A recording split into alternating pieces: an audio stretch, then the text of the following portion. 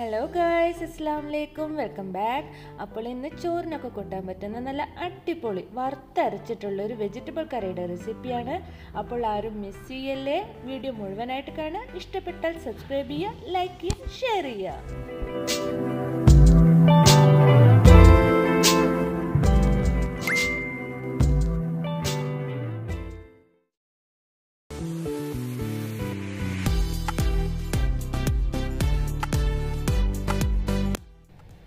കറി തയ്യാറാക്കാനായിട്ട് ആദ്യം നമുക്ക് തേങ്ങ വറുത്തെടുക്കേണ്ടതായിട്ടുണ്ട്.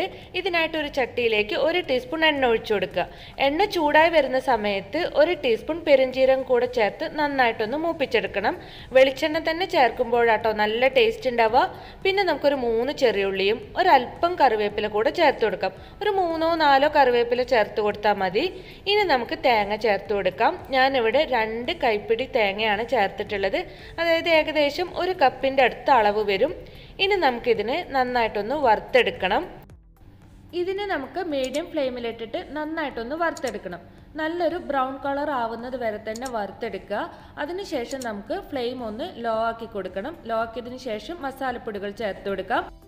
ഇതുപോലെ ഒരു സ്പൂണിലാണ് ഞാൻ പൊടികൾ ചേർക്കുന്നത്. അര ടീസ്പൂൺ മഞ്ഞൾപ്പൊടിയും രണ്ട് ടീസ്പൂണ് മല്ലിപ്പൊടി മുളക് പൊടി. ഞാൻ കാശ്മീരി ചില്ലിയാണ് കേട്ടോ എടുത്തിട്ടുള്ളത്. അത് കൂടെ ചേർത്തിട്ട് നന്നായിട്ടൊന്ന് മൂപ്പിച്ചെടുക്കുക അപ്പോൾ ഈ ഒരു സമയത്ത് ഫ്ലെയിം നല്ലപോലെ ലോ ആയിരിക്കണം. നിങ്ങൾക്ക് എരിവ് കൂടുതൽ വേണം എന്നുണ്ടെങ്കിൽ സാധാരണ മുളക് പൊടി ചേർത്ത് കൊടുത്താൽ മതി. ഇനി ഫ്ലെയിം ഓഫ് ചെയ്യാം. അടുത്തതായിട്ട് നമുക്കൊരു മൺചട്ടിയിലേക്ക് മൂന്ന് വലിയ സ്പൂണ് വെളിച്ചെണ്ണ ഒഴിച്ചു കൊടുക്കാം. വെളിച്ചെണ്ണ തന്നെ ഒഴിക്കാൻ നിങ്ങൾ ശ്രമിക്കുക. അതാണ് കൂടുതൽ ടേസ്റ്റും നല്ലതും. എണ്ണ ചൂടായി വരുന്ന സമയത്ത് അര ടീസ്പൂൺ ഉലുവ ചേർത്ത് നന്നായിട്ടൊന്ന് മൂപ്പിച്ചെടുക്കണം. ഇതിലേക്ക് രണ്ട് വറ്റൽ മുളക് കൂടെ പൊട്ടിച്ചു കൊടുക്കാം. അത് കൂടെ ഒന്ന് മൂപ്പിച്ചെടുക്കാം. ഇനി വേണ്ടത് ചെറിയുള്ളിയാണ്. ഞാനിവിടെ ഒരു ആറ് ചെറിയുള്ളിയാണ് എടുത്തിട്ടുള്ളത്. നിങ്ങൾക്ക് ഇതിന് പകരം സവാള ചേർത്ത് കൊടുക്കാം. ചെറിയുള്ളിയാണെങ്കിൽ കൂടുതൽ ടേസ്റ്റി ആയിരിക്കും. ചെറിയുള്ളിക്ക് സത്യം പറഞ്ഞാൽ അങ്ങനെ പ്രത്യേക അളവൊന്നുമില്ല. കൂടുതൽ ചേർത്ത് കൊടുക്കാം. ഇതിലേക്ക് ഒരു മൂന്ന് പച്ചമുളക് കീറിയത് കൂടെ ചേർത്തിട്ട് നമുക്ക് ഇതിനെ ഒന്ന് നന്നായിട്ട് മൂപ്പിച്ചെടുക്കാം. മൺചട്ടി ആയതുകൊണ്ട് തന്നെ പെട്ടെന്ന് ഇത് മൂത്ത് കിട്ടും. ഇതിലേക്ക് ഒരു അല്പം കറിവേപ്പിലയും പിന്നെ വേണ്ടത് തക്കാളിയാണ്. ഒരു തക്കാളിയുടെ പകുതി മാത്രമേ ഞാൻ ഇവിടെ ചേർക്കുന്നുള്ളൂ. നല്ല പഴുത്ത തക്കാളി തന്നെ ചേർത്ത് കൊടുക്കുക. അപ്പോഴാണ് കറിക്ക് നല്ല ടേസ്റ്റ് ഉണ്ടാവുക.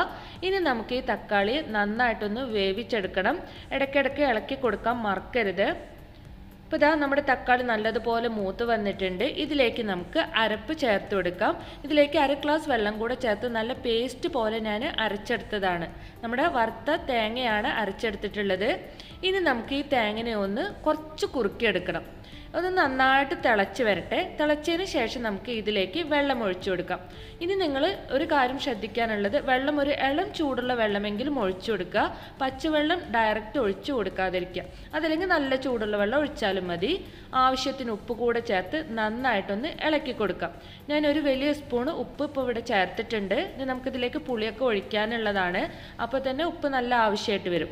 അപ്പോൾ ഇതാ നമ്മുടെ കറി നന്നായിട്ട് ഇവിടെ തിളച്ച് വന്നിട്ടുണ്ട് കേട്ടോ ഇനി നമുക്ക് ഇതിലേക്ക് ചേർക്കാനുള്ളത് ചുരങ്ങയാണ്. നിങ്ങളിത് എന്താ പറയുകയെന്നറിയില്ല ഞങ്ങൾ ചുരങ്ങ എന്നാണ് പറയാറുള്ളത്. അത് തൊലിയൊക്കെ കളഞ്ഞ് കഴുകി വൃത്തിയാക്കി. ഇതുപോലെ നീളത്തിലരിഞ്ഞതാണ് നീളത്തിലരിയണം അപ്പോഴാണ് നല്ല ടേസ്റ്റ് ഉണ്ടാവുക. ഈ ചുരങ്ങ ഈ കറിയിൽ നിന്ന് കഴിക്കാൻ ഒരു പ്രത്യേക രുചിയാണ്. ഇനി നമുക്ക് അടച്ചു വെച്ചിട്ട് ഈ ചുരങ്ങ വേവുന്നത് വരെ ഒന്ന് വേവിച്ചെടുക്കാം. ഏകദേശം ഒരു ആറേഴ് മിനിറ്റ് കൊണ്ട് നമ്മുടെ ചുരങ്ങ നന്നായിട്ട് വെന്ത് കിട്ടും. അപ്പോൾ ഇതാ ഞാൻ തുറന്ന് നോക്കിയിട്ടുണ്ട്. ഇനി നമുക്ക് പതുക്കെ ഒന്ന് ഇളക്കി കൊടുക്കുക. ഈ ഒരു സമയത്ത് ഉപ്പ് കുറവാണെങ്കിൽ നിങ്ങൾ ഉപ്പ് ചേർത്ത് കൊടുക്കണം. ഇനി നമുക്ക് ഇതിലേക്ക് പുളിയൊക്കെ ചേർത്ത് കൊടുക്കേണ്ടതായിട്ടുണ്ട്. അപ്പോൾ ഇതാ ഞാനിവിടെ ഈ ഒരു അളവിലാണ് പുളി ഒഴിച്ചു കൊടുക്കുന്നത്. അതായത് ഒരല്പം കട്ടിക്കുള്ള പുളി ഏകദേശം കാൽ കപ്പിന്റെ അടുത്ത് ഞാനിവിടെ ഒഴിച്ചിട്ടുണ്ട്. ഇനി നമുക്കിതിനെ നന്നായിട്ടൊന്ന് ഇളക്കി യോജിപ്പിക്കുക. ഇനി നമുക്ക് കൂടുതൽ തിളക്കേണ്ട. നമുക്ക് എത്രയാണോ ഈ ഒരു കറിയുടെ കുറുക്കം വേണ്ടത് അതിനനുസരിച്ച് തുറന്ന് വെച്ചൊന്ന് തിളപ്പിച്ചു കൊടുത്താൽ മാത്രം മതി. അതിനുശേഷം നമുക്ക് ഫ്ലെയിം ഓഫ് ചെയ്തിട്ട് ഇതിലേക്ക് ഒരു വലിയ സ്പൂണ് പച്ച വെളിച്ചെണ്ണ ഒഴിച്ചു കൊടുക്കാം. നമ്മൾ ഓൾറെഡി താളിച്ചതുകൊണ്ട് ഇനി താളിക്കേണ്ട ആവശ്യമില്ല. അതുപോലെ ഒരു രണ്ട് പിഞ്ചോളം ഉലുവ പൊടിച്ചത് ചേർത്ത് കൊടുക്കാം. നല്ല ഫ്രഷ് ആയിട്ടുള്ള കറിവേപ്പില കൂടെ ചേർത്ത് കൊടുക്കാം. അങ്ങനെ വളരെ എളുപ്പവും അതുപോലെ രുചികരമായിട്ടുള്ള നമ്മുടെ വറുത്തരച്ച കറി ഇവിടെ തയ്യാറായിട്ടുണ്ട്. അപ്പോൾ എല്ലാവരും ട്രൈ ചെയ്ത് നോക്കാം കേട്ടോ ഇത് ഇരിക്കും തോറും ടേസ്റ്റ് കൂടുന്ന ഒരു കറിയാണ്. വീഡിയോ ഇഷ്ടമായാൽ സബ്സ്ക്രൈബ് ചെയ്യാനും അതുപോലെ ലൈക്ക് ചെയ്യാനും ഷെയർ ചെയ്യാനും നിങ്ങളുടെ കമന്റുകൾ ഫീഡ്ബാക്ക് ആയിട്ട് അറിയിക്കാനും മറക്കരുത്. മറ്റൊരു വീഡിയോയിലൂടെ നമുക്ക് ഇനിയും കാണാം. Thanks for watching